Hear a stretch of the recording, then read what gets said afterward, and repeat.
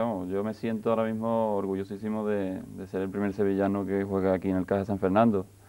Y claro, eso lo tengo que demostrar en la cancha y creo que, lo estoy haciendo lo mejor que, sé de momento.